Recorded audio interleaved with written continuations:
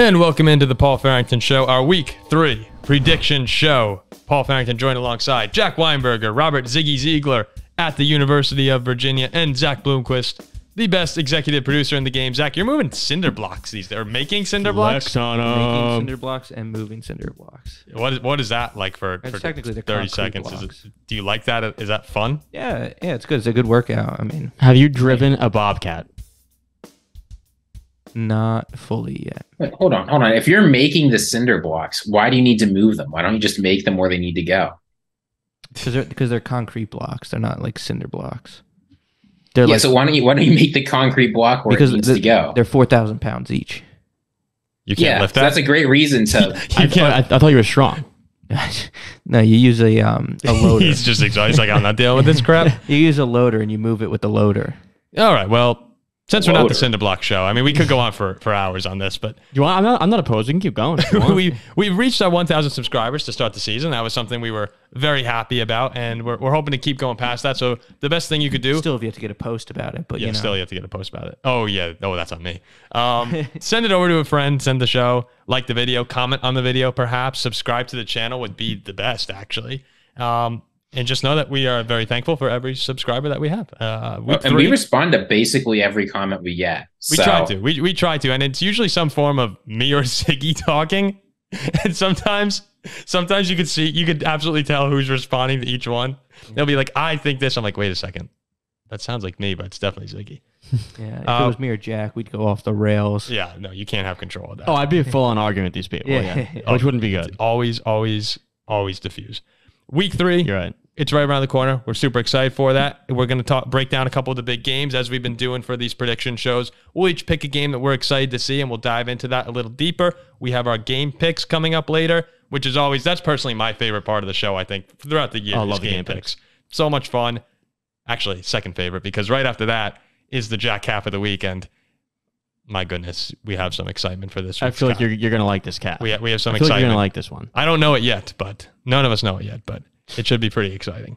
Let's um let's start though. We'll give Jack 30 seconds because we were supposed to go live after the Steeler game Monday night, and we apologize to any Steelers fans who are hoping or Browns fans who are hoping to see our reaction. We know Shane uh, commented on Twitter, and so we apologize to Shane in particular. But Jack, you were you were a wreck throughout the game. You you I mean it was a highs and lows of wow, we suck. We suck. This team is horrible. Pickett, we all texted at the same time. Pickett might just be terrible after his uh, interception. And then after the TJ Watt recovery, the text from Jack was verbatim Super Bowl is on. Absolutely. So when you when you when you reflect on Monday night and the the turmoil, but also the joy that you experienced, wh- where do you stand on the state of the Pittsburgh Steelers? well, it's a game of highs and lows. It is. It's a game of highs and lows. I do first want to say sorry to Shane. Uh, you know, we're supposed to go live. I know he's a fellow Steelers fan. He was probably feeling that that well of emotions as well. I'll take Uh, the blame for that. I was tired as com- Ah, no worries. No You're worries. moving no cinder worries. blocks. Yeah, the, Yeah. the, the game ended late too. It ended at like midnight Eastern time, so totally fine. I do want to start by saying also, uh, Nick Chubb, love the Oh, guy. that's horrible. You never want to see that. Never want to. I mean, that's just horrendous. Uh, never want to. You know, want to see a guy get hurt, especially to that extent. Respect for the man is through the roof. I think he's the best running back in the league. Hope to see him get well soon. And I, I will say, respect to Steelers fans, right? When he was like get getting carted off the field, they started chanting his name. Like it was nice to see a little bit of respect, even though this rivalry is one of the most vicious in the NFL. Mhm. Yeah. Yeah, Sad to see those guys go down too. The, the toughest part is when you see kind of everything settle in at first because there's shock at first, and it's like, oh my god, I just blew up my knee. It, I I want to talk. sad. I want to talk a little bit less about the Steelers here. We won the game, Oh boy. but we didn't look great. We had two defensive touchdowns. Nick Chubb went down, you know, but we got a one and one on to Vegas. I want to talk about the Cleveland Browns because these Cleveland Browns fans, they don't like me. And I don't like them. But I just want to remind that these Cleveland Browns fans, who your owner is, who your father is, your quarterback stinks, and let's not play the what if game, right? Like Nick, Nick Chubb goes down. We had the lead when Chubb went down. Jerome Ford scored the go ahead touchdown. To all these Browns fans out there. We were missing Diontae Johnson. We were missing Cameron Heyward. So no what ifs. We're your father. You can't win in our stadium. Deshaun Watson, that man stinks. he single handedly won us that game. And boy, I love it. You guys are awful. Have fun winning four games, Cleveland. Peace Oh. out. Who's your daddy? Who's your Oh, daddy? th- th- Who's there's no daddy? question. Yeah, y'all y'all might remember during the offseason, I was predicting a return to form for Deshaun Watson. I have never been so happy to be wrong. It it gives me some like deep joy to watch this man absolutely collapse and Thanks. be humiliated on the football field. Pick six, scoop and score, another fumble. Like he is just losing the Browns. You know, last year it was okay, their offense is all right if they can just get a decent defense. Now it's the opposite. I'm happy to see Deshaun Watson stink it up. Worst contract in NFL history. One of the worst trades in NFL history. I'm stamping it here. Deshaun Watson's career is over. Let him know, Thank you, Oh my God. goodness. Let him know, Ziggy. I, I, look, Let I- him look, know. look, I'm not. I'm not so quick to, to write him off. A week ago, we were talking Oh, about them do, do, beating do you realize any somewhat decent QB and somewhat decent Oh, team mauls won. us on Well, Monday yeah, night? Jacoby Brissett lights you guys up. Anybody else with that bum Watson, they win that Well, game. you got you guys. Yeah, I, I'm not feeling great as a Steeler fan. If it, it's what you had two defensive I'm not touchdowns, talking about right? the Steelers. No, I'm no, oh, I know, I know. I'm talking about the Browns. I'm saying I'm not writing off Cleveland just yet because I'm a week ago they They're written manhandled the Bengals. that team stinks too. no, well, we'll get to them later. We'll get to them later. I do want to put it out there just just to take you know the side of the Browns. Like this team isn't built around Deshaun. It was built around Chubb. In reality, I mean, no, this this offseason they I mean, redesigned everything That's what for I'm saying. Deshaun They're going to Watson. win. They're now going to win three games. So that's with that moron quarterback. Well, with they did. They did redesign Ziggy by bringing. They brought in some guys, but uh, the focal point is still Nick Chubb, or was Nick Chubb. I mean, if you listen to Stefanski, they like reworked the entire offensive playbook for Deshaun Watson last offseason. I was just laughing too when that idiot fumbled the ball a yard back. Yeah, Jack. Jack does not like the Browns. I cannot wait for these guys. To, you stink, Cleveland. All right, I'll uh, I'll start off. We, we, we'll each go through a game here. Uh, we'll have some discussion. Chargers Vikings. I'm, I'm gonna go with with that. I don't know if it's exactly the sexiest game of the week, but it could have been. It's not as sexy well as you. have I mean, you're Thank pretty you. sexy. Thank you. Uh, season's on the line for both these teams. Justin Herbert, Kirk Cousins. Both offenses have been awesome so far this year, but they've been let down by their defense. Especially you think about the Chargers Week One against Miami really disappointing. Then you can't stop Tennessee towards the end of the game. That goes to overtime and you lose. Vikings, on the other hand, we know their story. Embarrassed. The run game was just absurd in Philadelphia with D'Andre Swift running for 170 yards. There's only so much that the offenses can do when, when your defenses are playing the way they are right now. Um, and we very easily could be sitting here talking about two 2 and 0 teams, or at least in the Vikings case, probably 1 and 1. But the Chargers very easily could be 2 and 0 it's been disappointing for both both fan bases. I work very closely with a Chargers fan, and he's just every week he's texting like, what, like what what do I have to do with this organization? I'm like, dude, don't even start with me. like you have you have no idea what.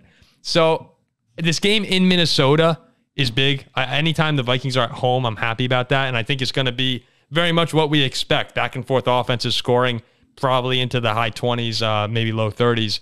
Should be a really fun game.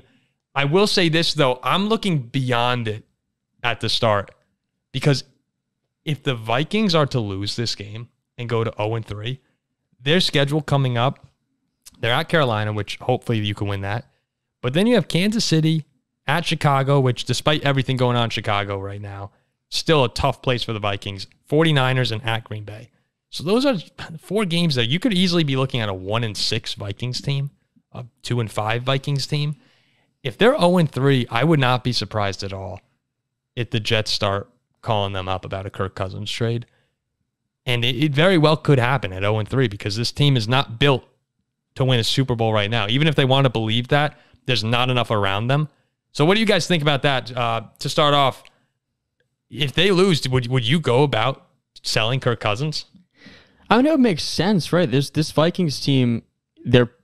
I view it like this. I think they're stuck in purgatory with Kirk hell. No, no, which is hell. You think it's hell? which is? Yeah. actually hell, Between- football hell. It's between purgatory and hell. Like, they're not going to win a Super Bowl right now with their roster and Kirk Cousins playing quarterback. I think it would make sense to maybe blow it up or restart. And you look at a team like the Jets, right? They can win the Super Bowl with Kirk Cousins. Minnesota can't.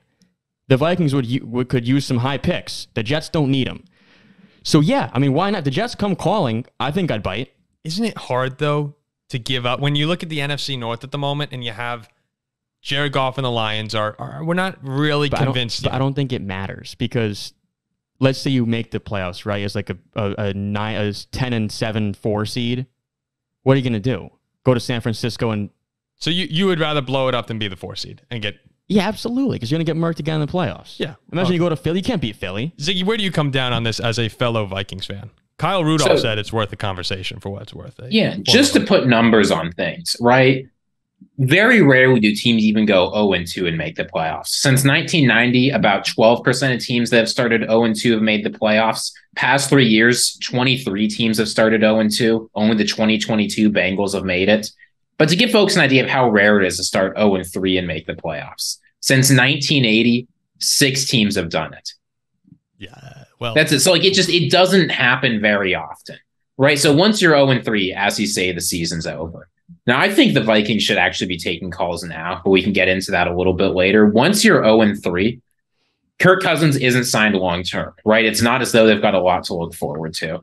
The Vikings, it's unlikely they're going to be able to compete in the near future. Why bother keeping Kirk Cousins if you can get a third or fourth round pick from the Jets? Give Kirk, do right by him. third or fourth. I don't want a third. Or, I'm not selling him for a third. I or think- fourth. No, because you you you, you got to keep in mind that's for one season at Kirk Cousins, right? He's not with the Vikings next year. Yeah, We don't want him. No, no, but I don't like. I, this is gonna sound greedy here, but I, I, I want, I want a first round pick. You're Well, you're not getting it for 15 games at Kirk Cousins. But the Jets could win a Super Bowl with Kirk Cousins. Do, Without are the him, they Jets don't make able the to give a first round pick now for Minnesota? They Do we- could give a they give a future pick.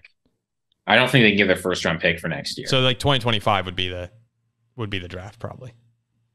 But like, I think that makes sense because the Jets don't need a first round pick. You can use a first round pick. No, no, but, But Z- the- Ziggy yeah, but said there- there- give there's no yeah, there's no mark. Like here's the thing, right? In think they- order to why get a not? market for a player, you need there to be two teams bidding. Only one team's going to be bidding for Kirk Cousins, and that's the Jets. No one else wants to But go out and acquire they're this so guy for high desperate. draft. But it doesn't matter, right? What matters is what the market is, and if the Vikings start zero and three and are ready to blow it up, they'll take what they can get. I would rather here's here's where I come down as a Vikings fan, and, and any Vikings fans in the comments, please let us know. If the Jets didn't offer a first round pick, I would say have fun this, this year with Zach Wilson, and I'd try and win the NFC North because the NFC well- North isn't, isn't good. I'd roll my roll the dice. I mean, also, yeah, make make make the Jets beg. Yeah, I they, mean, the, they Jets, should. The, the Jets They have a wanna, great roster. The Jets, like, hence hence bringing Aaron Rodgers, want to win it now, and with Kirk Cousins, they can do that. I mean, and if the Vikings blow it up, you could look at Cousins gone. You could look at Danielle Hunter potentially gone for a first round pick. There are a lot of players that could leave the equation in Minnesota. I mean, you'll be looking at Justin Jefferson gone. just stop. Carry No, on. Look. Carry on. So here's let, let me just tell you. I think the Vikings should be trying to trade Justin Jefferson now, and I'll tell you why. Well, you understand every Viking fan right now is is is looking Sure, at well- the screen saying, no, they're they're angry. So let, let, let me explain Please, the reasoning explain. as a Vikings fan. I'm sitting back here.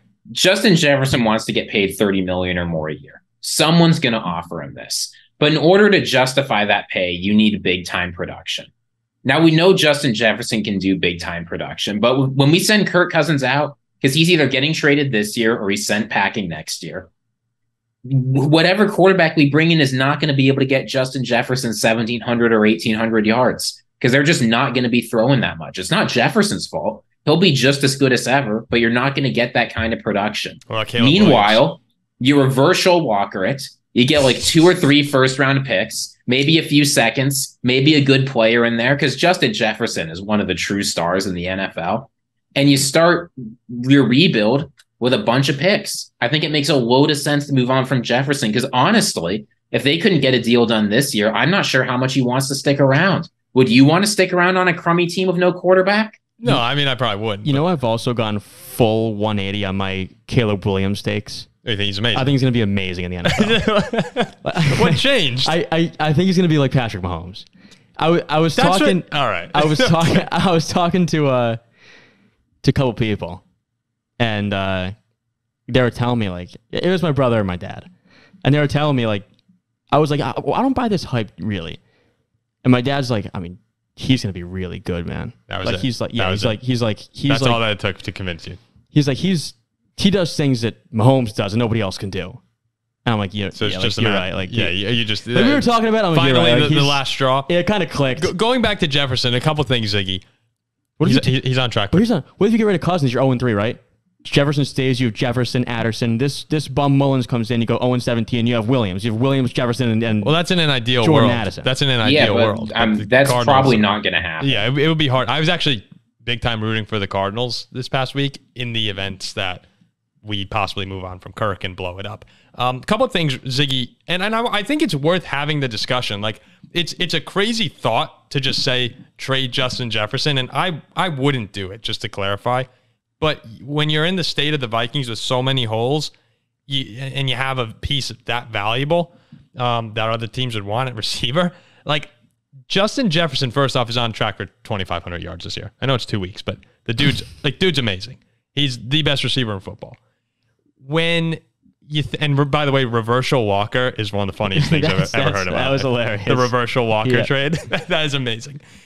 What would the trade package have to look like for you to even consider a move for Jefferson? And immediately, the first thing I say is, well, would I do it for three picks? Would I do it for three first round picks, Justin Jefferson? So I just looked up the the past few Vikings first round picks. Here's what we've had. If you go in order, would you trade Justin Jefferson for Jordan Addison, Lewis Cine, and Christian Darrisaw? I probably would not. I probably would not. Either. Even though Darrisaw's awesome, I probably would not. I'd think about it, but I probably would not. Yeah. Would you trade for Laquan Treadwell, Trae Waynes, and Teddy Bridgewater? No. No. Anthony Barr, Cordarrelle Patterson, Xavier Rhodes? Probably would for that one. Oh, Xavier Rhodes is lockdown. Maybe. Barr, Patterson, Rhodes, like I probably do for that one, but it's not a guarantee on these picks. And that, like, I wouldn't even, you know, half these guys here, I wouldn't trade Jefferson away for like seven of them in some situations. It's it's just so like four. I think is where I would be. Okay, you you, you gotta. you- like, you- you- but look, here's the thing you got to consider: Jefferson wants over thirty million a year. You also have to consider paying all three of those first round picks is going to be less than Jefferson. Wants. I know, but Ziggy, he's the second best player in the NFL. no. So I, I get this, but in order for his production to justify that number, you need a good quarterback. And here's the thing: this is a background assumption I am making based on how this has played out. The Vikings and Jefferson both tried to get a big deal, big extension done this summer.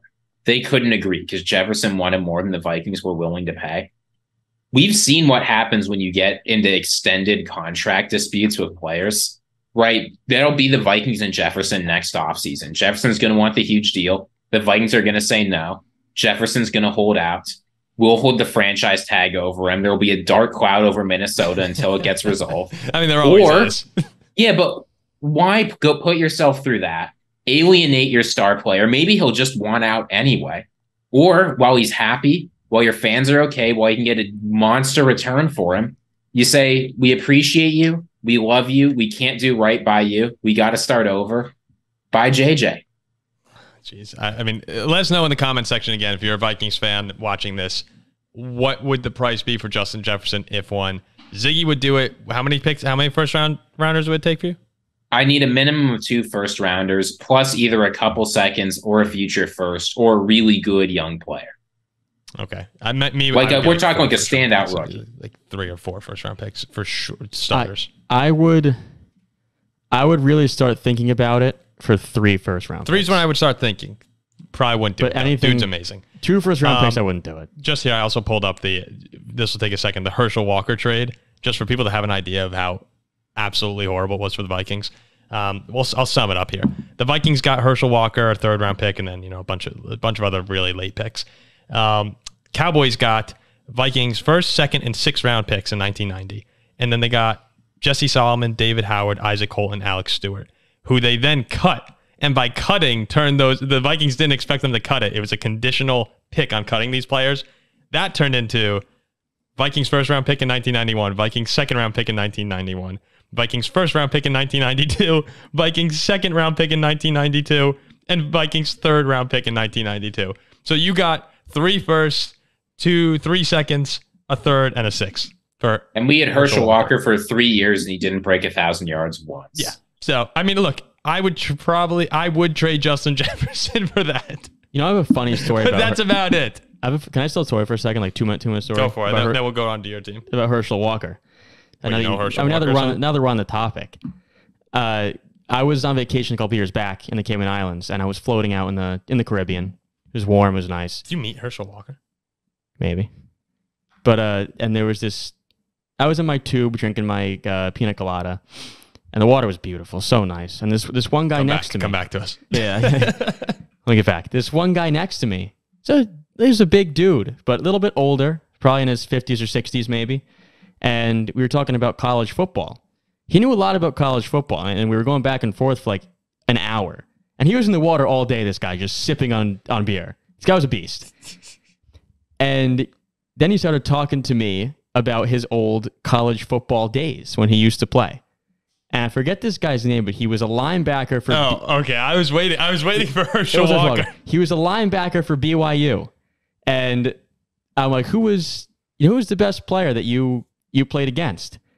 And he said that he played. They played a game against Herschel Walker. Georgia beat him, and every time they'd meet in the lane, Herschel would juke him out, run over him. He was like 0 for 10 trying to tackle Herschel one on one in the open, in the you know wherever. And he's like, it was the fourth quarter, and they were down pretty big. Herschel gets the ball, and it's me versus Herschel. And I'm able to trip him up by the legs, and, and I bring him down one on one. And he's like, that was the happiest moment of my life. I tackled he's Herschel like, I brought down Herschel Walker that one. I was one for 11, but I brought him down. That's amazing. yeah. well, yeah, and he was worth quite a lot to uh, to the Minnesota Vikings. So, so we'll see. Uh, we'll see what happens with the state of the Vikings going forward. Vikings Chargers, though, I'm excited to watch that because I think the fallout could be huge for both teams. If the Chargers lose, by the way, Brandon Staley is in a lot of trouble. That you could. Oh no, they're every they're getting fired because Yeah, they they're all all in this year. So- right, they're projected to be, I think, like eighty million over the cap next Yeah. year. That that's You why I'm watching some this. The games. consequences of this game for the loser are, are pretty drastic. And hey, maybe it helps them out in the long run, but yeah, it, there there will be fallout. Jack, how about you? What are you looking at?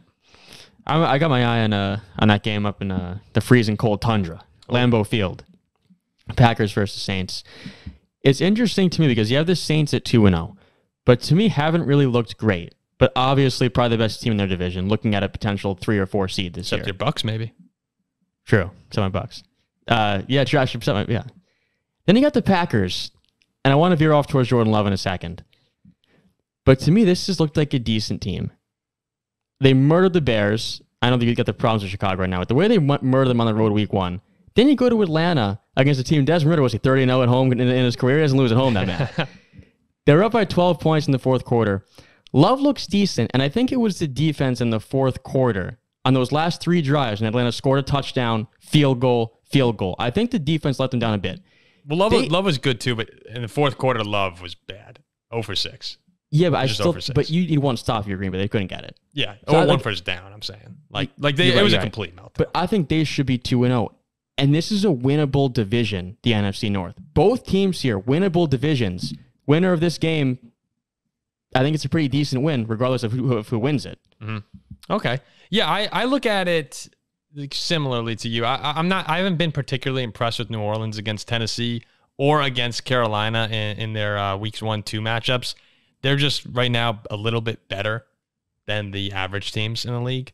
So I, I'm, I haven't been impressed going into Green Bay now. That would change my mind a little bit just because that's a tough environment and Green Bay's a, a Tough win solid team. regardless, yeah. Um, you said you wanted to go to Jordan Love, and I actually wanted to ask you guys a question because I'm looking at Love, and it's really funny. Ziggy during the Atlanta game when the Packers got the ball back with about a minute left, texting our group chat. The, the curse right now that we have, and it's it is such a burden on, on my shoulders. I feel like that the Packers videos we've been putting out have been doing really well. By far, Packer- our best content. A lot of Packers fans out The there. Packer, and here's Passionate. here's I love Packers fans. Eh, Like I, I hate the Packers, but I love Packers fans because and it's it's infuriating. They're all so damn nice, uh, and then now they're helping out the show. you see, Ravens fans suck. But Ziggy texts with about a minute left. I'm like, all right, great, great, great. We got they're gonna lose. He's like, you know, if Jordan Love goes down and gets a field goal here and wins the game. When we put out this video, we might get to 10,000 subscribers because Yeah. like people are just going to watch that. And I, I like, I'm sitting there looking at the television. I'm like, oh my God, he's so right. Like what? The- I, I rooted against them, but I just knew in the back of my mind, like if they win this, like, this is good for the show. the Falcons kicked a field goal to take a lead. And I, I was somebody with a ticket on the Packers in that game. So I was watching it. And I'm like, all right, Jordan Love, let's go. Let's see what you got. Then I texted in our chat, wait a minute, Jordan Love, let's see what you got. And Ziggy, that's when Ziggy, That's said, when Ziggy that's Ziggy sent that text. If he goes down the field here, we're getting subscribers. But here's the thing with Jordan Love. Early on in the season, or preseason, really, we were talking about him, and and we were harsh on him. We were very harsh on him. We didn't believe that he would come in and be a good quarterback, just from what we'd seen, from what we'd heard. Um, we weren't believers. And the expectations for Jordan Love, it's not to be Aaron Rodgers, it's not to be Brett Favre. It was whether or not he'd actually just be a starting level quarterback in the NFL. And so far, the answer has been pretty resoundingly yes. Um, you can look at certain statistics. Packers fans, we're gonna we're gonna try and take a non-biased approach here. So we hope you appreciate that because it kills me to say all this. But he's leading the league in passer rating. He's highest in the league. That's a, a great number to be in, in front of. At the same time, he's third worst completion percentage at 55.8%. So there has it's, it's been, he's looked good, but there are some numbers that say like hold on a second, he still has to develop a little bit more. Like when he when he's comfortable and he's making intermediate short throws, he's accurate, but sometimes things go a little awry so far in these first few games. I I see Jordan Love though right now as someone who doesn't have a full unit around him. Aaron Jones out, Christian Watson out, Elgton Jenkins out, David Bakhtiari's been out. So it's hard to fully judge and criticize. But right now, where do you guys come down on on how how much do you believe in Jordan Love making this team not only an NFC North contender, but maybe like a little bit of an NFC threat? How much do I believe in Jordan Love? I think the answer is not a ton. But the good news is that Jordan Love isn't the only person that matters. The person who's been most impressive, I think, actually has been Matt LaFleur. I was saying all offseason, right? People are forgetting that this guy knows how to create a great offense. And Aaron Rodgers had his own likes and dislikes that sort of stopped LaFleur from functioning the way he wanted to. When you look at the fact that the efficiency stats for Jordan Love, like passer rating, EPA, are Yeah. off the charts, and things like his completion percentage are really bad, this tells you that he's operating in an offense that is built to help him out. Yes. He's got a great run game. His receivers are starting to get healthy. They're calling good plays. You know, of course, like there are issues. The run defense isn't great. Like there are problems in Green Bay, but the offense is operating well. And even though I don't think Love is a huge ceiling raiser, he's got good legs. He's got a solid arm. He can execute the play. I think there's a lot of reasons to be optimistic about this Packers offense, even if you don't think Jordan Love's all that good. Probably the best defense in the NFC North as well, despite the concerns you said. The NFC North defenses are really bad. So if Jordan Love is you know an average quarterback, given the the schemes he's been put in so far, and given the guys who will be coming back, like it sucks. But the freaking Packers might be the pick right now to win the NFC North. I mean, I thought Jordan Love has looked decent enough where this team absolutely can get the number four seed in the NFC playoffs. Maybe the three. Because I think they, they can beat out the Lions, Vikings, and Bears for sure. Like, I, like the Bears, for example, I think Justin Fields terrible. But I think Oh, Jo- it's been, but- it's been it's been Chicago. You really can't have had. You could not have had a worse start to the season than what they have right now. I mean, Jordan Love to me already looks better than Fields. I mean, I think there's hope to go Third, to he's play. third best quarterback in the NFC North right now. Uh, the thing is, and this is what I saw this last week. And again, he'll get better. It's his second career, second career start, right? Third career start. Maybe? Well, he it was his third last because of that Chiefs game. Right, right, right. So second start this year. On the road, the stadium's getting loud, and you got to have a game-winning drive, and he did nothing. And it's something like that for a young kid like Love, I don't trust him yet. Let's say they get to the playoffs, which they could, and you go on the road to a team like San Francisco or Philadelphia, whoever. I don't know if I trust him there. So I think this ceiling is capped, but Jordan Love so far to me looks good enough to take his team to the playoffs. If if and the, the crazy thing is in that Atlanta game, you're you said you're they're up 12 points to start the, the fourth quarter. If things just go a little differently, again, he was 0 for 6 passing, Right, like- messed up the fourth down, missed some open guys on it was a third down where he missed an open receiver. Like there were a lot of mistakes. everything went wrong basically for Green Bay in that fourth quarter. If they win that game the way they normally would, most teams would in the situation, we're sitting here and it's a it's a different story about the Packers right now. We're we're saying like, oh my god, these like they hit the jackpot. he had a bad fourth quarter for sure, but it goes on both sides of the ball. Again, like I said before, if if those last three possessions the Packers stopped the Falcons one time, they win the game. Yeah. And prop props to Desmond Ridder too for for getting them down the field, Yeah, even though he was sure. up and down throughout the day. So yeah, And props to uh, Bijan Robinson for getting him down the field. yeah, yeah. I think Green Bay wins this game though at home against the Saints. I tend to agree with you. I think it'll be a good. I don't think it's this is a blowout or anything. I don't think the Saints are a bad team, but right in Green Bay, whoever was home for this one is who I'd lean towards. Yeah. Uh, but and that's a win for the Packers though, because early on in the season, I'm sure a lot of Packers fans weren't sure that this game would be one that they'd give a W to. Yeah, well, these are both teams have a lot to prove, right? The Packers, they're trying to prove they belong in the NFC North. The Saints, they're trying to get a lead in the NFC South, where three teams are 2 and 0 for some reason. Yeah. So, yeah, it, this should be a good game, I think. So we'll see. And, and you're right, Ziggy. We'll see if some of those those luck plays that Love's had, because there have been some fortunate moments for him so far. That's why his passer rating so high. No interceptions. Only quarterback with three plus touchdowns and no picks this year. If things turn a little bit, start turning the football over, we'll see uh, exactly how how much he could come back down to earth. But he's been it's been a great start for him. Packers fans should be excited. You have a great shot. It You know, sucks. one more thing. You put on that that Packers uniform as a quarterback. Like I'm, maybe it's just I'm magical. so might just be certain. magical. Like I'm so certain that if like he put on like a Browns uniform or a Lions uniform, Oh, it'd be the over. Jets, he'd be atrocious. It'd be over. But yeah, but- there, there are black cra- cloud franchises, and then like I, what do we even call these? Like like like golden? Uh, I, I don't know. We'll think of a name for Let's it. think, let's think of something. We'll think of something. But they're, they're the opposite of the black cloud franchises. That's what that's what the Packers are. It's like the Steelers. Blue most of Sky the franchise. time. Yeah, we're a Blue Sky franchise. Blue Sky. Blue Sky, a Blue Sky franchise. yeah. okay, Ziggy. How about you? What game are you have circled this weekend?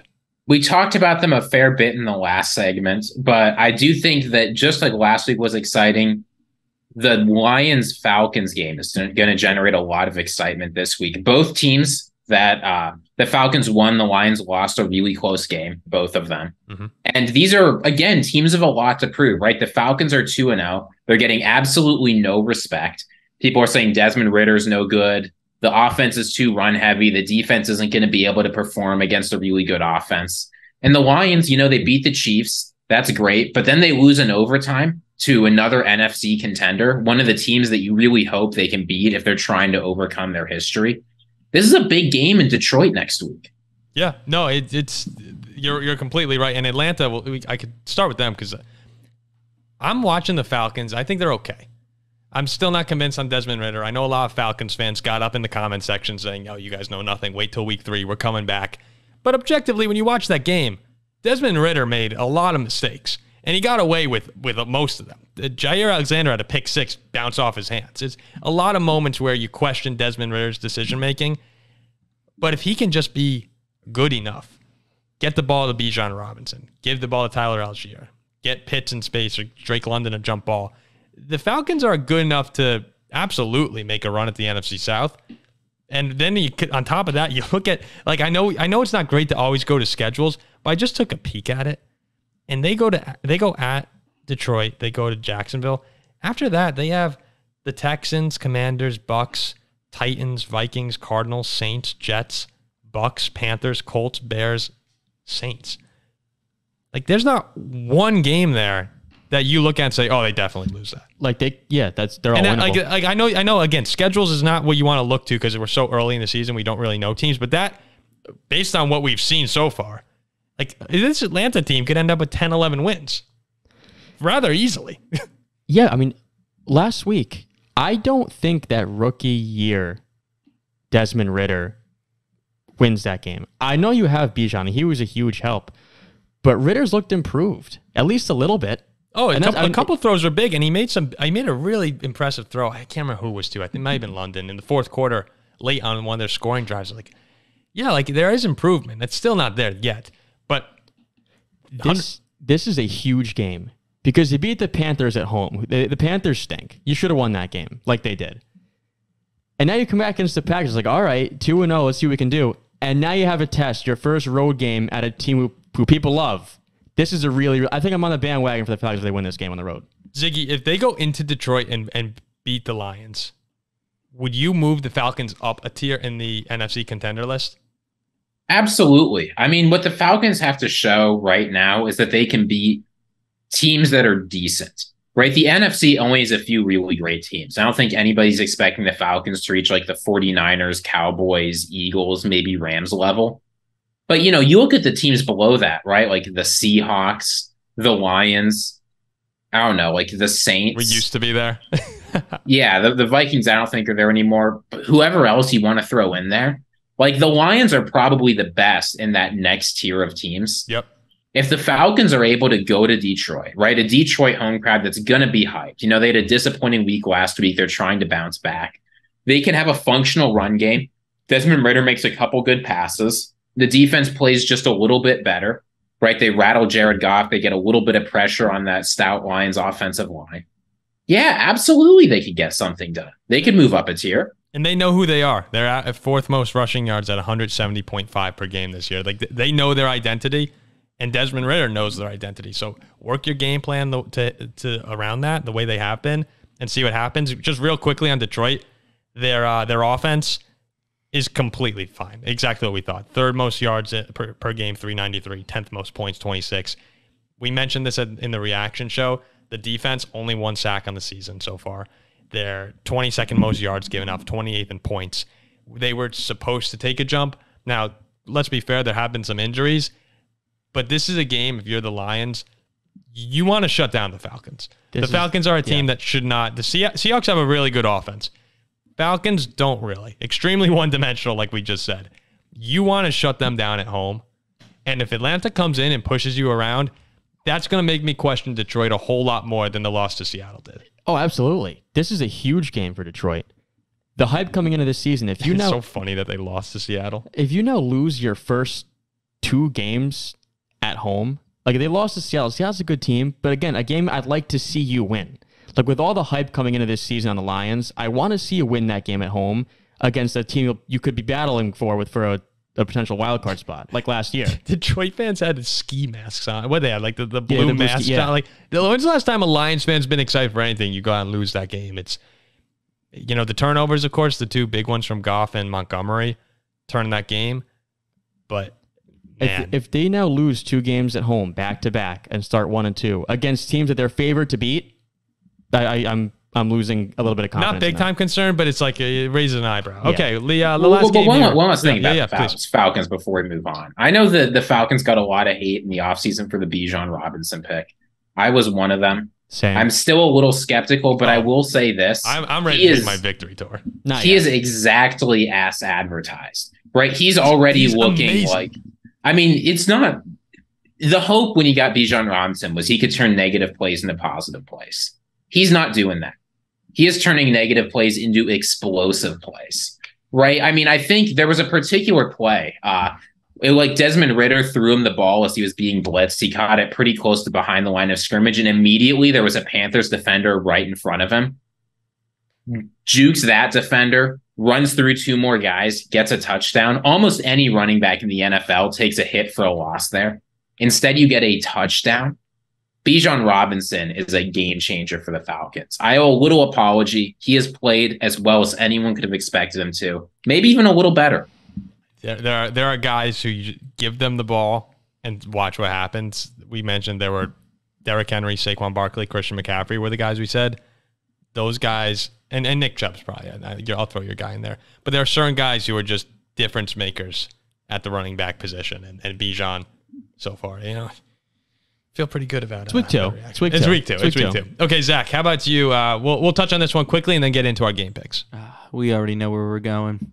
We're not going to the Mile High Stadium this time. Uh, last time we went to the Mile High, they upset us. But this one's played in the Hard Rock. Was that last year? That was last. Oh, year. it was a revenge game. Oh, yeah, oh, yeah. revenge spot. What's Miami. the line? Six and a half. Spot. The line right now in Miami is six and a half. Yeah, they're going to. That's, that's the lock of the gambling guy, and they're going to destroy them. Yeah. It it seems like it's getting chaotic in Denver right now. I don't now. know what you say in this game. Well, well, I think Denver goes gets blown out. I think no. You know what I have to say about the Broncos? They they stink. Yeah, they like stink. like Broncos fans are, are sad right now. I work very closely with, with Liv's a huge Broncos fan. They they're bad, and I said this to her. We were, we were arguing about the Vikings and Broncos. Like you can believe, you can try and believe in Russell Wilson and Sean Payton. After they get murdered by the Dolphins, I think everyone's going to start to say like, okay, this is on life support, this relationship, this team right here. Like, watch them play. I know that they had the explosive first half, or at least most of it till the Russell Wilson fumble, but they're just not good. They're not a good football team right now. They stink. And when I see Sean Payton come out, he's saying there's a number of drives where we're late with personnel getting out of the huddle. We took a while. I mean, that's gonna that's got to change. We burned timeouts in the first half that I'm not used to doing. We've got to be better. I've got to be better. Russ has got to be sharper with getting the play out. Guys are talking about play calling issues and breaking the huddle too slow. Like that shouldn't be a problem by week two of the season. I don't care with the new coach. Like that, that can't be happening And when I'm seeing that as one of the primary issues beyond just getting the ball to your receivers and not getting sacked seven times the way Russell Wilson did, I, I'm out. I'm fully out on Russell Wilson. I, I think Before- it's over. For Jack, Jack goes, wasn't that a big thing that Pete Carroll said last year with Geno Smith when he had a good year? Wasn't that like like the big thing he said? Like he was like, oh, like somebody actually like reads the play calls properly. Oh, Did I he missed come out and that. say that? I missed that if he did. I did. forget. I I don't think, know. I think he said that last year with Geno. Wow. What about you, Ziggy? Are you or uh, Jack? Did you say Uh, want to say something? yeah, I was just, I was just gonna say, you're up what 21-3 in your home opener, and you allow a Sam Howell led Commanders team to come back, score 35 points, and beat you. That can't happen. I mean, I'm jumping ship. They're gonna go and get murked by the Dolphins, how are they gonna stop them? It'll be 35-14, and they'll be 0-3, and that'll be it. Boy, don't you think the Broncos wish they kept Ejiro Evero right now? But they begged and pleaded for him to stay, as they have to go and face obviously the best offense in the NFL. The the defense has not been good for the Broncos, right? People talk a lot about the offensive woes, and there have been a lot, but the defense has not been good at all. And you think about if they lose, they start 0 3. The Broncos started 2 and 1 last year. And Sean Payton in the offseason was talking big game about how that was the worst coaching job in NFL history. I will tell you, I don't know what's going through Sean Payton's mind right now, except one thing. Sean Payton does not think Sean Payton is the problem. Oh, Anything yes, else might be, but he is not. And what that means is if they start 0-3, we talked about the numbers earlier in like the Vikings Chargers segment. Uh, if you start 0-3, you are almost guaranteed not to make the playoffs. Things will go off the rails fast. The Payton Wilson relationship will sour even more. And I'm not sure how it'll end up, but I would not want to be on the Broncos and have to play through that. I mean, even the way, even the problems he's talking about having, like getting out of the huddle, he, he's mentioning things that are clearly not a Sean Payton issue. Like the, he's saying at the end of it, I've got to be better. But what everything he's saying is, no, Russ needs to be better here. Russ needs to be quicker reading this. Like these talk about the fumble, huge play. Russ needs to be better there. I think Denver's in a really bad spot. They're they're cash strapped. They're not talented. It's it's gonna that's gonna be an ugly scene this season. This is also the Dolphins' home opener, which is the one game per year Miami where the fans show up.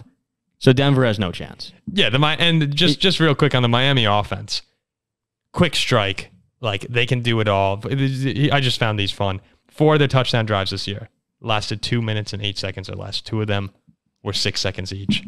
The number one in points, or the number one in yards, number three in points. Tua is leading the league in passing yards. He's on track for like six thousand.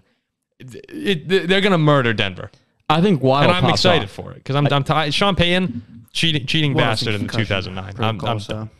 I'm done. Does Waddle? He has, like, he has a concussion. He's not playing. Yeah, I don't know if he'll play this week.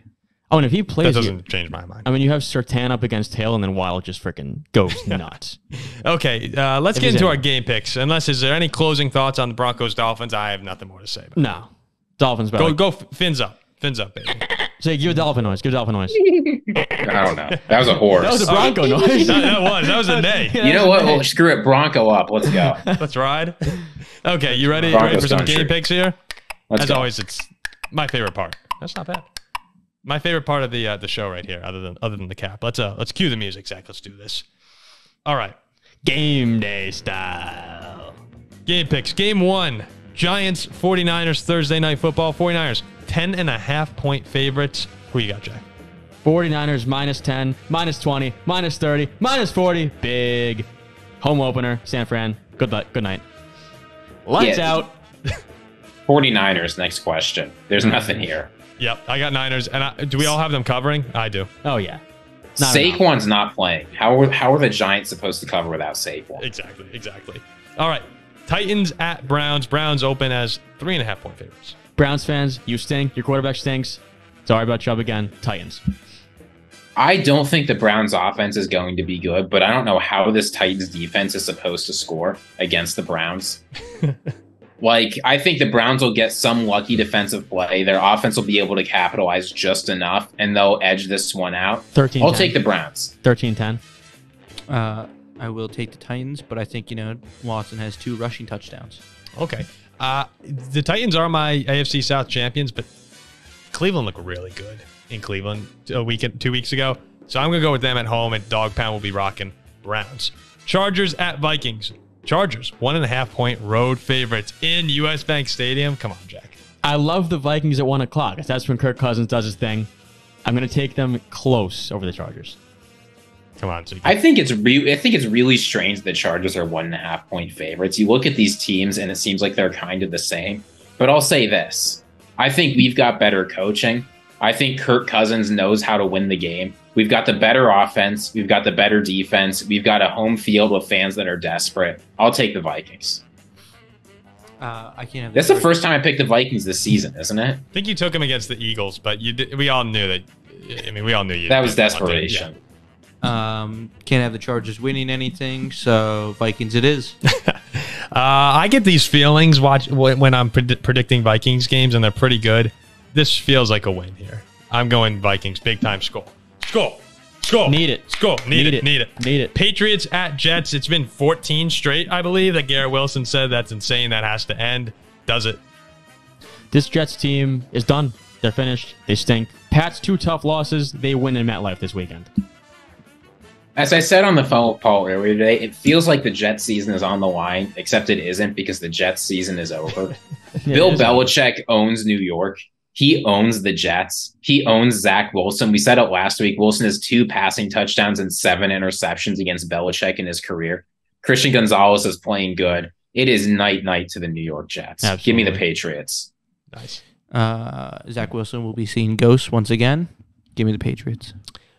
I also have the Patriots. I think they. I think they absolutely yet to embarrassed see this a lone offense. wolf. No lone wolf. Yeah. What happened to the music, Zach? What, what's that music? Guys, sorry. We uh. It's a long day for Zach. Long Long, day. day for Zach. He's blacking out here. He might be blacked out. We were also Are you just blacked so, out? we were just al- also so intense into the picks that like nobody noticed. Are you blacked out, Zach? Oh yeah. Too much- too much Texans gas? at Jaguars. Jaguars eight and a half point home favorites. I like the Jags to win and cover this Texans team is hot trash. The Texans played the Ravens close for a while. I think you'll see exactly the same thing this week. But exactly like that Ravens game, the Jaguars are going to pull away as the game goes on. They're the better team on both sides of the ball. I got to take the Jaguars. Uh, Jaguars just has to be Calvin Ridley, right? Calvin Ridley all day. Two touchdowns, three touchdowns. Um, One no, no, touchdown? he's gonna have. He's gonna go for 150 and a touchdown. All right. It's a big game. Book it right now. I have the Jaguars as well. Kind of similar to Ziggy. Stays a little close in the first So, half. Jacksonville so, pulls so are we just a wolf pack? We're Wolf Pack Yeah, right we're a now. pack. We're Wolf Pack We're right a pack. now. We're hunting together. I mean, a lot of these games feel like they're easy, and of course they won't be, but they feel easy to Oh, the. Texans will win that game on the road. Bills I don't know. Like this is. Yeah, I- I'll just say like there are what like three games this week where there's more than where there's double digit favorites. Oh yeah, no, the lines are insane. I mean, the, the the next two are almost a touchdown each. Bills at Commanders. Bills favored by six and a half. The Commanders are too bad of a team to start 3 and 0. Buffalo's locked in now after that week 1 loss. I got the Bills, but closer than people think. I think that if the question is whether the Bills will win by more or less than the Raiders game, Josh Allen is not scared of this defensive line. That might be to his detriment on some plays, but the Bills are more talented. They'll pull ahead easily. Um, as much as I want the Bills to lose, they won't lose. So give me the Bills.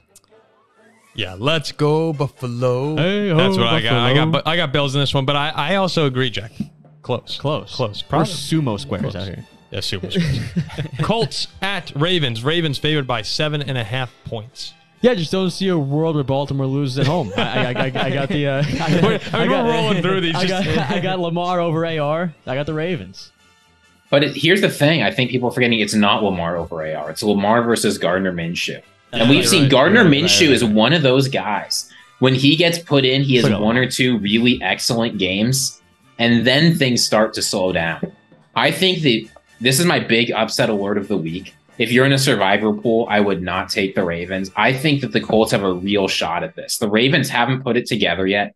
Give me the Colts. Okay, I, I thought I uh, thought you were gonna flip at the end. I'm, like, I'm yeah, lone wolf in it. I just know it. Well, we'll see. We'll see about Zach. No, it's definitely the Ravens. yeah, the Ravens too. You could you hit it. Oh. Go Go for for it. And Ziggy, Ziggy's a wolf. All right, Falcons. We talked about this before. Falcons at Lions. Lions three and a half point home favorites. I like the Lions. Hand the Falcons their first loss. Detroit doesn't lose two in a row at home. Yeah, I love this Lions offense. I think that the Lions offense is going to be just fine here. I don't think the Falcons defense will be able to match them. So give me Detroit. Uh, yeah. Give me Detroit all day. Just a real quick question, or not question. I just realized aren't lions like yellow or ish Tannish, yeah. tannish? Why is why aren't why isn't their uniforms like a tannish yellow? I mean, I've always pondered that. Like, why is it blue? That doesn't make any Yeah, sense to yeah, I me. never understood the blue Yeah. thing. All Who right, that knows? was just my two cents. Now go ahead. We can move on. No, no. Is, is, is a Buffalo Bill blue? I don't like like the Buffalo's not not blue. I don't know. It's kind of weird. The Browns are orange. Who knows? well, the Browns are named after a dog too, so it makes no sense. All right, I got. I want to take the Falcons, but I, Don't I do a- think the be a Lions are square with us. Be a big Yeah, no, I'm a square. square. I'm a Tom, be square. a I'm a square, square. be a I'm a square. I- I'm a square. Wait, why are the Bengals black and orange? Oh, there you go. There you go. We, we lose credibility for that. Saints at Packers. Packers favored by two at home. I like the cheeseheads. Home opener, they're going to be loud. I like Jordan Love. I like the Packers. I hate to say it, so I won't say it. I think that Derek Carr and the Saints will be able to handle the Packers just fine. Ooh. Um, I think this is the first time that Derek Carr is going to see a real defense for the first two weeks. So give me the Packers. Go, Pack, go. I wrote down the Packers as my pick earlier today. I'm not taking the Packers. Saints. Oh, but yeah, I hate the Saints too. God, Yeah, I'm you hate the Packers I worse, hate. Hate I don't know, man. worse. It's close, but I'm gonna go with the Saints, just because I don't want to pick the Packers here. Broncos at Dolphins. Dolphins six and a half point favorites. We just said we love the Fins on this show. Not much to say. Fins up. They cover Fins two. up, full sweep, they win big. full sweep, six and a half. Full go sweep. Fins. All right, Panthers Yeah, at. Seahawks. Seahawks are six point favorites against Bryce Young and Carolina. I got the Seahawks. I think the Seahawks are a much better team than Carolina's a dumpster fire. Again, Bryce Young stinks. Seahawks. Again, Bryce Young, I don't think is playing. He's got an ankle injury. He wasn't practicing. I, mean, okay. If you were a Seahawks fan, I would sweat that uh, Andy Dalton is coming in to play this game. Oh, Dalton's playing? Yeah, no, Dalton. This is exactly the kind of game that Andy Dalton would win.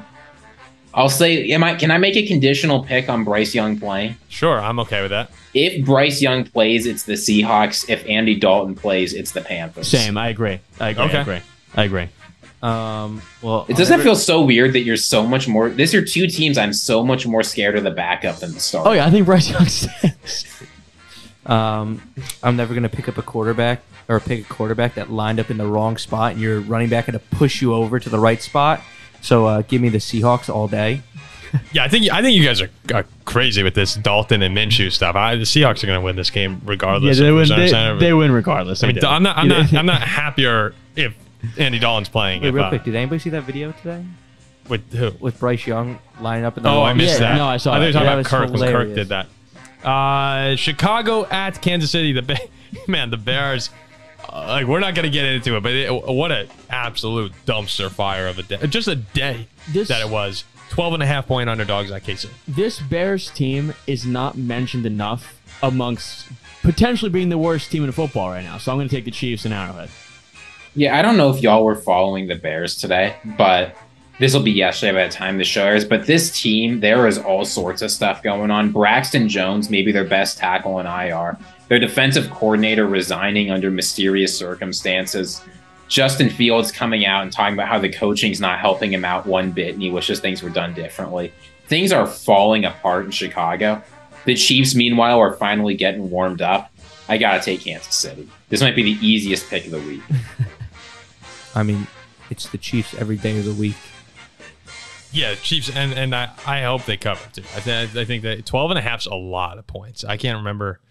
It's been like since the Vikings Bills years the, ago. The Chiefs can play two football games on Friday and Saturday, and then come back on Sunday and beat the Bears. Chiefs will win, and they should cover this game. Bears haven't won a football game since October of last year. It's been a, a year. They stink. The, the Bears They haven't won a football game since Elon Musk bought Twitter. yeah, and you know what? I, I'm, I'm happy about it because all the Bears fans are.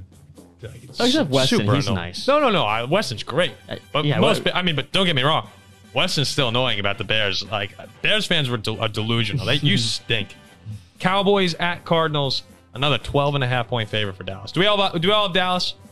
Yeah, Yeah. Yeah. Zach, you riding the Cardinals Yeah. again? I, I was almost right. Does everyone have I- them covering 12 and a I half? want to take the Cardinals, but I, Yeah. I'm taking Dallas. Yeah. Uh, covering? No. No. Ziggy cover? Absolutely. I have the No. cover. Yes, you don't. I- okay, I- all right. So we're splitting the the, cover. Cardinals covering. Steelers at Raiders. Sunday night football. Las Vegas, a two and a half point favorite. I can't wait for this game to come on air. And I hear Al Michaels and Chris Collinsworth say, "Welcome to Vegas," and it's Mike a Tirico. sea, Mike Tirico, and see and see a sea of terrible towels in Las Vegas. It'll be You're a, right. It'll be a third down. Jimmy G will he'll be, he wouldn't be able to hear because in his home his own home stadium will be the opposing fans. I got the Steelers. I think Pickett looks good in this game. I worry about the fact that Minkah Fitzpatrick is hurt and probably not playing. He's a critical part of that defense. But TJ Watt will be the best player on the field regardless. If I'm torn between teams, I pick the best player. Jimmy G might not make it through this game alive. Give me TJ Watt and the Steelers. Yeah, yeah. I don't. I don't see Jimmy G doing anything against TJ. Oh, I want to take the Raiders so bad. You guys look so bad on Monday Night Football. I mean, the Steelers No, have no, no. Looked Give us our offense- miserable. Give us our flowers. terrible. But you know, no, The yeah. Browns beat the Bengals by twenty. You know, you know what? I'll, I'll- again, I'll, I'll ride. I'll ride with my boy. I'll go Steelers. But that that was close for me. You, You guys, you guys are. You bad. like the Steelers? No, I think you're horrible. no, no. You, I think you like the Steelers. it's good for the show. Eagles four and a half point favorites at Tampa Bay. You know, I got in this game. My NFC South champs, Tampa Bay, gets put on the map on Sunday. Monday. Monday night, yeah. Monday night. What? You heard me. Loud and clear. Baker the playmaker outduels Jalen Hurts. He's like, dude, I was the better OU QB. Get out of my city. Ziggy doesn't like that pick. I'm going to say for Hey. Ziggy, he has the Eagles. Yeah, wh- wh- what is this? No, we're, we're a serious show. We're talking Yes, I seriously. think the here. Bucks I will win this game at home. Yeah, okay. Give me the Eagles. Give me the Eagles by 20. I don't know. what? Zach, Um, I ride with Jack. yes. I think Chris Godwin, Mike Evans, Pop off. obliterate, obliterate. obliterate. Get those eye patches out. Give me those I, pirates. Um, I would like nothing more than to turn on the TV Sunday night or Monday night and, and watch the Eagles get blasted by the Bucks. But that's not going to happen. I, uh, I'm going with the Eagles. Would you lay the five and a half? Yeah, I would. Four and a half. Four and a half. Yeah, dude, of of course. Oh, people know. It's insane. It's insanity that we're the Bucks beat the Vikings and the Bears. Like, the Eagles are going to go in there and wallop them. Just watch. All right, last one here. Monday Night Football. Rams at Bengals. Bengals two and a half point favorites. It looks like Joe Burrow as of tonight, as of Thursday morning, will probably be playing. Hey, I'm going to bench him in fantasy. I think the Bengals win, but I will not be playing Joe Burrow. I think that the Rams have played really well. They've played like one of the three or four best teams in the NFL. The Bengals have a good offense, I think, once things come online. But the Rams have the two best players, Matthew Stafford and Aaron Donald. So I got to give it to the Rams, even going into Cincinnati. Wow. Okay. um, if Joe Burrow plays, give me the Bengals. If he doesn't play, it's Rams all day. I think I would agree with that. I, I will go conditionally Bengals on Joe Burrow playing, but man, and we can talk about this for just a second here. Um, if you if you throw the music down a little bit, Zach. I mean, great minds think alike. I think me and Zach had these same exact picks. oh, he said he followed. He said he, he said he go rides with his boy. What do you mean? We didn't say that. Me and Jack just think alike. We I just mean, you, think- you just said I ride with my boy. Well, that's only I for the Bucks with back. no, only Yeah. Bucks. Um, Rams and Bengals just for a second because wait, wait, did, was Ziggy the only one that took the Rams? oh yeah, you're right. Oh, you're right. Um, for Rams and Bengals, do you guys think that there is more to gain for the Rams winning this? Because people still, despite the slow start, people do still respect Cincinnati. Or is there more for the Bengals to lose, and they go zero and three? Joe Burrow banged up a little bit. Wh- Where where do you come down on that, Jack? I think there's definitely more for the Bengals to lose because the Rams have already gained a little bit of respect by beating Seattle on the road and then for the most part hanging with San Francisco. I think most people might see this team, okay, maybe they're not as bad as we thought they were. If they go into Cincinnati, yeah, it's a good win. But then again, like the critics might come out and say, yeah, but I mean, they were 0 2. Joe Burrow's a little bit banged up. If they beat Cincinnati, I'm looking at the Rams saying like, all right. I, I'm just saying what I think most people might say. And also, the best this Rams team can do is they're going to fight for a wild card spot, Mm. regardless of anything. Cincinnati has Super Bowl aspirations. And if they're 0 3 and they lose two games at home, and Baltimore's going to be 3 0 if they beat Indianapolis, suddenly your back's big time to the wall. And it's like, wait a minute, this And is Burrow's really hurt. Yeah, this is really bad. So I, I don't even think it's close. I think Cincy has much more to lose here. Ziggy, you used to be a Rams fan here. You're a uh, a former Rams fan turned Vikings fan. It's questionable decision making, but regardless, where where do you come down? More to gain for the Rams, more to lose for the Bengals. I think the Bengals will be fine. Um, even if they lose this game, I think they might be become the seventh team to make the playoffs. Oh, and three. But there is a whole lot to lose for them. On the other hand, though, I think people forget if the Rams win this game, you know, they're only one game behind the 49ers. It's not like the 49ers are going 17 0 this season. Like, sorry, sorry, 49ers fans, that's not happening. The Rams will have a chance to win the division. And if they can win the division, Stafford keeps playing at an MVP level, Cooper Kupp comes back. This is a team that has a real chance to win the Super Bowl.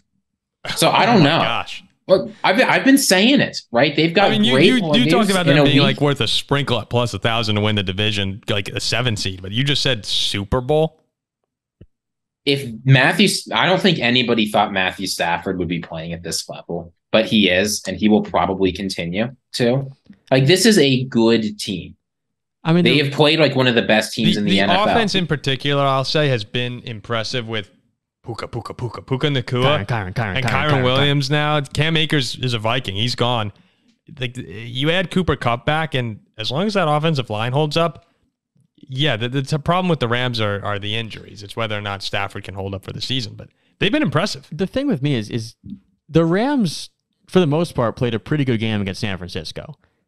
And I don't think San Francisco looked great. And yet San Fran was up by 10 with 20 seconds left and it was a BS backdoor cover. The Rams are not as good as San Francisco. Like San Fran's win- winning that division. But Cincinnati has aspirations to play in the Super Bowl. Oh yeah, I, I, I- yeah.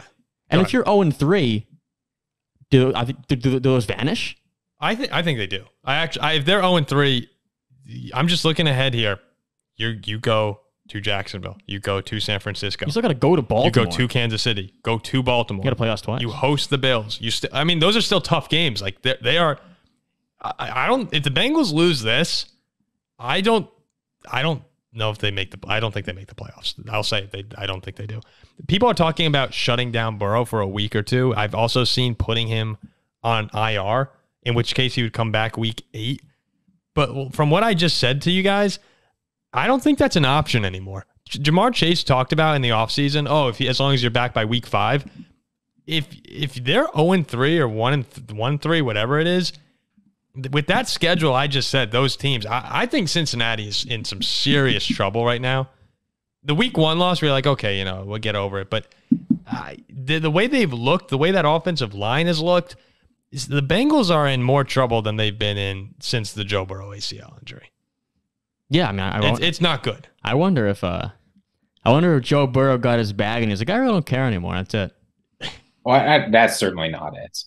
I don't know. Well, you guys, I'm trying to remember the Steelers' schedule is pretty. Ah, you, you look so bad. I was I was going to question whether or not the Steelers would finish higher than the Bengals. I mean, right now. we don't look. They look no better than we do. no, they don't. And that schedule is. I just said.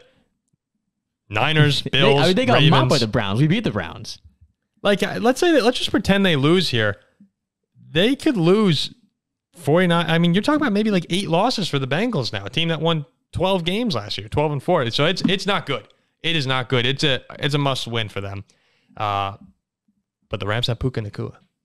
So we'll yeah, see. it's not a must win. Can for they the stop It's a must win the- the Bengals? You know, Puka Nacua has 266 receiving yards this year, second most in the league, 35 targets. I mean, Puka. Puka I mean, that Matthew Stafford feats as wide receiver one like maybe no quarterback in NFL history. I know, I know. My fantasy team is not happy about Cooper Kupp coming back, but it'll be fun to watch the Rams. All right, so there you go. There's our NFL Week Three predictions, and as we always end, there is the Jack Weinberger cap of the week. Flip to the college side of the ball now. Yes, yes. I'm off a dub. I'm off a dub. The, the Oh yeah, let's off a dub. celebrate that for a second. I'm off a dub. Off a Nebraska win here. I'm seeing the board now, crystal clear. I'm just gonna take my headphones off for this cap. They're kind of hurting me a little bit. Go for it. Um, so this is real brief and quick, guys. This uh, this cap of the week. I was just watching some of our clips, some of our episodes, and I realized we're doing a fantastic job on this podcast. We're really doing awesome, and I, I'm honored to be alongside you two as my as my Oh, co-hosts. thank you, thank you. And, and Maybe Zach. Wow, that's And crazy. yeah, yeah, exactly. And, That's and- crazy. And Zach is a producer. That's crazy. I forgot on the website. Now I but forgot this- now. That's This okay. Oh, yeah, we have a website, by the way. this one goes out to the man sitting to my right and the man on the screen.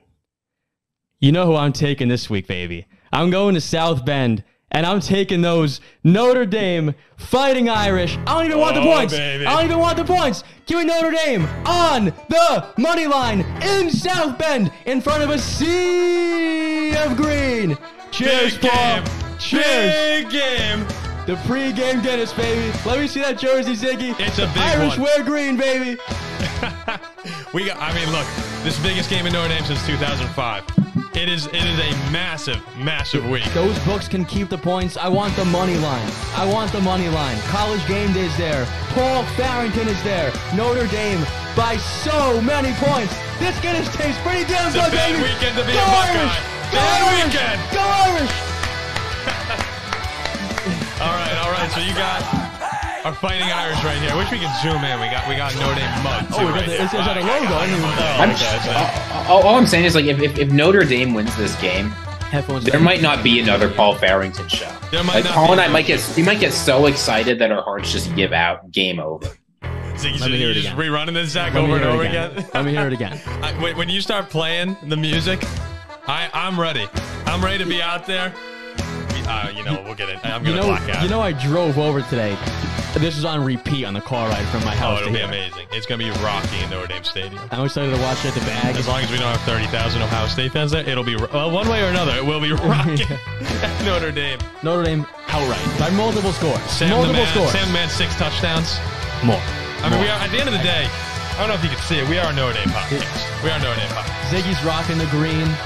Oh, we got right We here. got the Irish wear green towel. Green. I bought my I bought my shirt over. We're ready to go.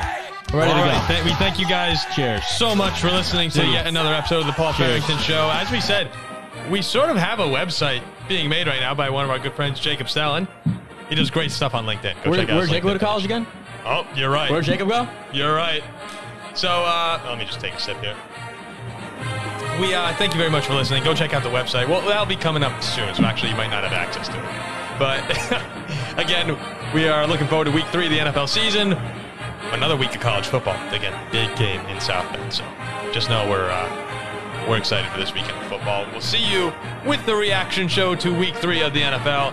Hopefully, the Vikings win. Hopefully, the Steelers are about to win at that point, and the Dolphins, of course, they're going to murder the Broncos. So we will see you then for Ziggy, Jack, Zach, and myself. Have a great weekend.